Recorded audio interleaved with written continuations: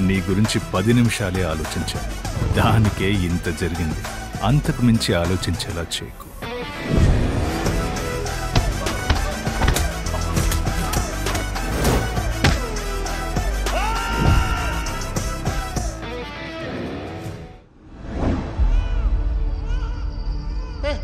ఈ ఏరోప్లేన్ మనకు కాదు. డబ్బున్న వాళ్ళకే మన కోరిక ఆడు పెట్టుబడి. బాగా మోసం చేసి నేల నాకిచ్చేశాడు.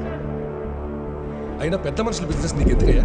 వెళ్ళి మీ ఊళ్ళో పందులు పెరుకు ఇలాంటి వాళ్ళ చేతికి ఎయిర్లైన్స్ ఇవ్వడం అనేది మతి స్థిమితం లేని వాళ్ళకి తుపాకీ ఇచ్చిన దానికి సమానం. పర్లేదే తమ్ముడికి లెక్కలు ఆస్తి పేపర్లు బాగానే గుర్తున్నాయి. బిడ్డనుకనే బిజీలో మర్చిపోయి ఉంటావు అనుకున్నాలే. నువ్వు గెలవాలని ఊరంతా కోరుకుంటోందిరా. గెలుస్తావుగా. వీళ్ళంతా నిన్నే నమ్ముకునున్నారా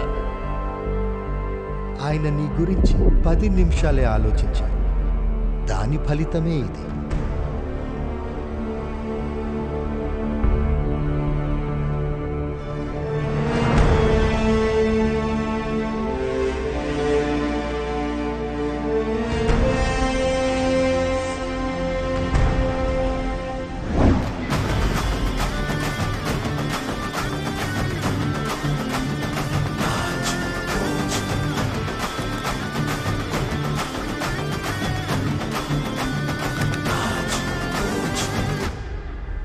ఏ మాస్టర్?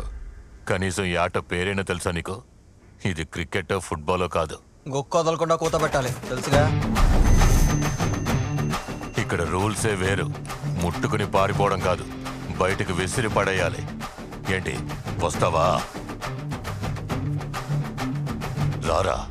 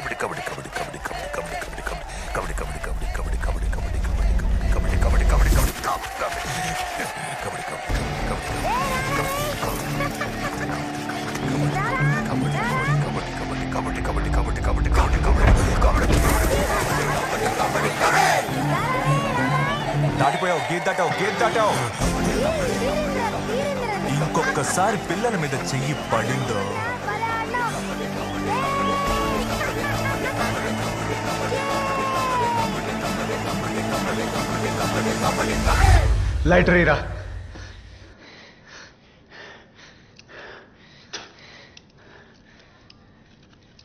రే. అమిత్ నాకు ఆ పిల్లంటే చాలా ఇష్టం రా. We in a physical growing world పెరుగుతూ కొద్దీ నాకు ఒక విషయం అర్థమైంది. మనకేమైనా ఎఫెక్ట్ అయితే మనం పోతే ద మోస్ట్ ఎఫెక్టెడ్ పర్సన్ ఒక్కరుంటారు. అది నా లైఫ్లో ఆ పిల్ల. ఆ పిల్లకేమనైతే I will be most affected understand రే అమిత్ నువ్వు చేసింది చాలా తప్పురా. నాకు మాట ఇవ్వరా?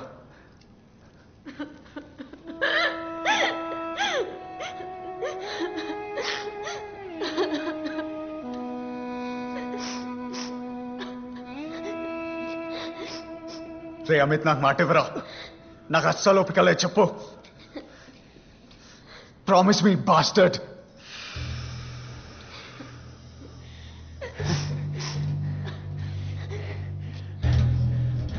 ప్రామిస్ రా ఇంకెప్పుడు ఇది జరగదు. Fuck off you bastards you fuck off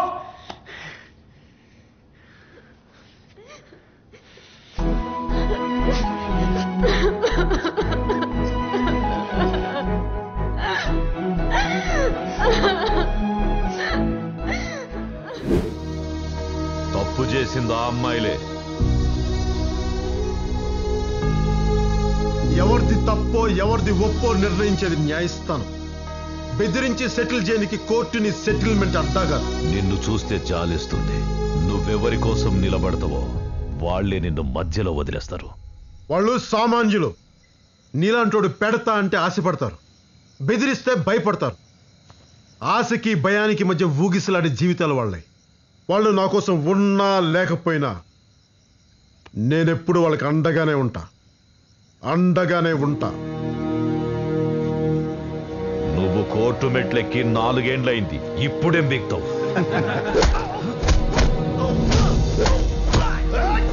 ఎన్నాళ్ళైనా ఎన్నేండ్లైనా నా ఆవేశం తగ్గదు ఆశయం మారదు. ఒకసారి నేను నల్లకోటు వేసుకున్నానంటే వేసుకోవడానికి పిటిషన్లు తీసుకోవడానికి బిల్లు ఉండవు.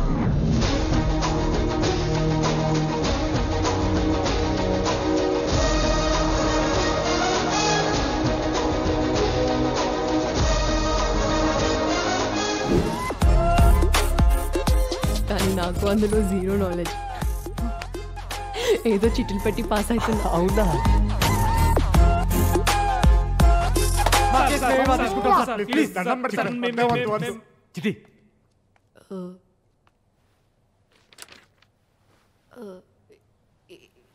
ఇచ్చేయండి సార్. బెయిల్ ఇచ్చేయండి. బెయిల్ అంటే ఇవ్వండి రా బెయిల్ అంటే ఇవ్వండి. లాయర్ గారు చెప్తున్నారు కదా. లాయర్వి కదమ్మా? నువ్వేదో ఒకటి మాట్లాడాలి. సార్ చట్టానికి ఎవరు చుట్టాలు కాదు సార్. అయితే? అయితే చట్టానికి న్యాయానికి జరిగిన ఈ సమరంలో కేసు గురించి చెప్పమ్మా. సార్ వంద మంది దోషులు తప్పించుకోవచ్చు సార్. కానీ ఒక్క నిర్దోషికి కూడా అచ్చా? కమ్ టు ద బెంచ్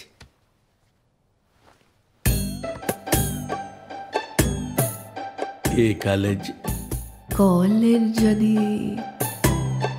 దొంగ సర్టిఫికెట్.